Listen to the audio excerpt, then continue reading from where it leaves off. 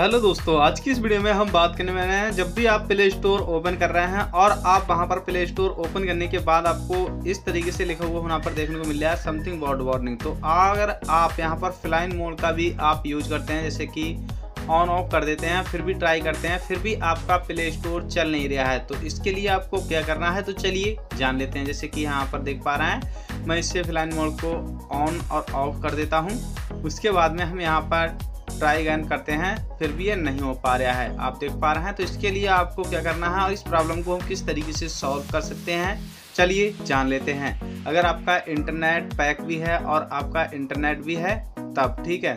तो इसके लिए आपको प्ले स्टोर यहाँ पर देख लेना है। प्ले स्टोर को आपको यहाँ पर प्रेस करके रखना है, फिर आपके सामने आ जाएगा ऐप इन्फॉर्मेशन ठीक है। इस पर आप सिंपली क्लिक करेंगे, यहाँ पर स्टोरेज का ऑप्शन आ जाएगा। इस पर आप सिंपली क्लिक करेंगे और यहाँ से हम डाटा को क्लियर कर देंगे, ठीक है। और ये सेटिंग अगर आप यहाँ से नहीं कर पा रहे हैं तो आपको करना है? यहाँ से हम चलिए बैक कर देते हैं। बैक करने के बाद आपको अपने फ़ोन की सेटिंग्स में जाना है। उसके बाद में आपको सर्च बार में लिख देना है ऐप मैनेजर तो चलिए मैं यहाँ पर लिख देता हूँ ऐप और यहाँ पर मैनेजर ठीक है, जैसे कि एम उसके बाद में आ जाएगा यहाँ पर ऊपर वाली सेटिंग्स इस पर आप सिंपली क्लिक करेंगे। आपको यहाँ पर ऐप लिस्ट का ऑप्शन देखने को मिल जाएगा। इस पर आप सिंपली क्लिक करेंगे। आपके जितने भी ऐप्स होंगे फ़ोन में वो आपको यहाँ पर देखने को मिल जाएँगे। जो कि आप देख पा रहे हैं। यहाँ पर आप एक चीज़ और भी देख सकते हैं, जैसे कि अगर आपका यहाँ पर जीबी में अगर कोई भी ऐप दिखा रहा है तो आप यहाँ से इस डाटा को क्लियर कर सकते हैं, ठीक है? और आपके फ़ोन की स्टोरेज है वो फ्री हो जाएगी तो यानी कि आपका फ़ोन ज़्यादा फास्ट चलने लगेगा।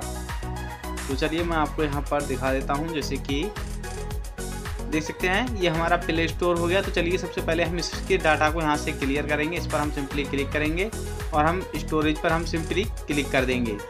उसके बाद में हम यहाँ से डाटा को क्लियर कर देंगे। तो आप इस प्ले स्टोर की सेटिंग ये कर सकते हैं। उसके बाद में अगर आपका फ़ोन स्लो चल रहा है तो जैसे कि आप देख पा रहे हैं कैन मास्टर टू पॉइंट छियासी जी बी यानी कि लगभग तीन जी बी में ये कैन मास्टर है। तो इतने का होगा नहीं तो आप यहाँ से इसका डाटा क्लियर कर सकते हैं और ये फिर पचास सौ एम बी में रह जाएगा। इसी प्रकार आप यहाँ पर और भी देख सकते हैं। जैसे कि चलिए मैं स्क्रॉल कर रहा हूँ यहाँ पर बराबर।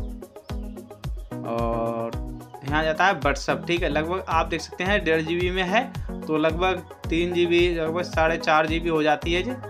ठीक है तो अगर आप इन्हें डाटा क्लियर कर देते हैं तो ये आपका 100-200 सौ ही घेरेंगे स्टोरेज की, ठीक है?